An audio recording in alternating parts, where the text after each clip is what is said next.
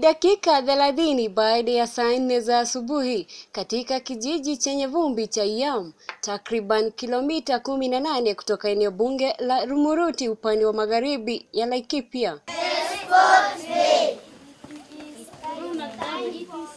Kipenga cha pulizwa katika shule ya msingi ya Mategidhi. Kipenga cha pulizwa katika shule ya msingi ya Mategidhi ambapo wanafunzi waonekana kwa umbali mtu angeweza kuona wanafunzi wa darasa la saba. Kwa umbali mtu angeweza kuona wanafunzi wa darasa la saba juu ya dawati ambazo na vifaa vyao vya masomo vikiwemo juu ya dawati ambazo vilishaharibika kitambo. Huenda ukadhani wanafunzi wanaonekana kwa sababu ya madirisha yenye ukadhani wanafunzi wanaonekana kwa sababu ya madirisha yenye muundo wa madarasa, bali na hayo uharibifu ya jua muundo wa madarasa, bali na hayo miale ya jua hupenya na kuwasumbua wanafunzi wasio na hatia kwenye ukingo. Hao mbao ambazo zilitumika kujenga ni mbovu, pia mabati ambazo zilitumika kujenga ni mbovu pia huenda yakawa madhara, lakini wanafunzi hawana mahala pengine pa kusomea, lakini wanafunzi hawana mahala pengine pa kusomea.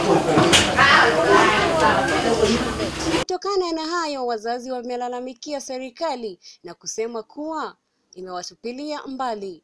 Mwalimu mkuu Gabriel Ebu alisema kuwa madarasa yalijengwa kwa miaka ishirini na sita iliyopita na kujawahi kuwa na ujenzi mwingine wa kudumu. Alisema kuwa hamna tofauti wakisomea chini ya miti, kwani hata mvua ikinyesha madarasa hufulika na huathiri masomo katika shule hii ambayo ina zaidi ya wanafunzi mia sita. Uh, uh, Mokamano Primary has several issues, several problems. One, uh, some classes are semi-permanent and they are really in a pathetic situation. Irene cherono ambaye ni mzazi alisema kuwa wanafunzi wameathirika na funza sababu madarasa hayajapigwa saruji na pia ukosefu wa maji. Kariuki Kabugi ambaye ni mzazi na mjumbe wa bodi alisema kuwa katika juhudi zao kupata usaidizi kutoka kwa mfuko wa maendeleo wa Laikipia umekuwa batili. Aliongeza kuwa pia shule zingine kama Magomano, Kisiriri na OMMC zina mashida kama hayo. Jambo la aibu ati katika karne ishirini na moja kuna shule kama hii katika Jamhuri ya Kenya, nchi ambayo iko na miaka takriban hamsini plus kwa tangu tujinyakulie uhuru.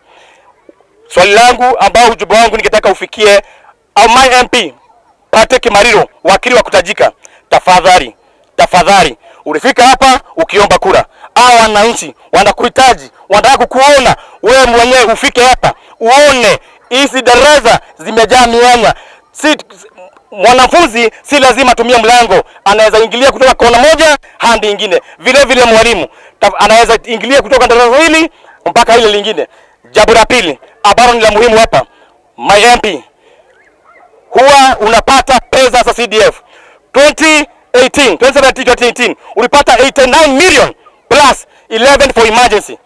My friend, my MP, tafadhali fanya kitu. Yoki, ninahusuni sana kutoka wakati tuja hapa katika ayam, tunawachagua wabunge, tunachagua magavana na pia si tunaona wa, wa maendeleo tunarudi nyuma kambi. Na wakati Marido aliposaguka hapa akisema atajenga mashule na mirandi fulani, hatujamuona. Basi hata mimi sasa ninahusunika sana kwa vile hata vile alikuwa anaongea tupatie kura. Mimi ni mtu sijui ya royals, sasa chapter 4 chapter 6 hiyo maneno haijakamilika hata leo. Hii mtu hata tunatafuta, tunaandika message kutoka Romuruti, tunamtumia juu ya mademu zetu, tunamtumia vile tuko na shida na hatujaona eh. Sasa sisi hata tunashindwa vile mtu anatusaidia kutoka hiyo miaka yote. Kuna mtu mmoja alijenga darasa hapa na yeye anaitwa Washira Kalani, na hiyo shule tunaona hapa kuna kazi kidogo inafanyika, lakini hii darasa ingine kama madarasa samba ijajengwa na ina hata sura, na ukiangalia mtu saa hiyo anasema mnipe kura, na tunaona ni kazi ya bure.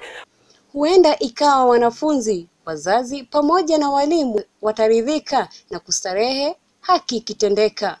Basi tunasikia kwa redio kuna pesa zinatolewa na Margaret Wamboi, runinga ya PTV,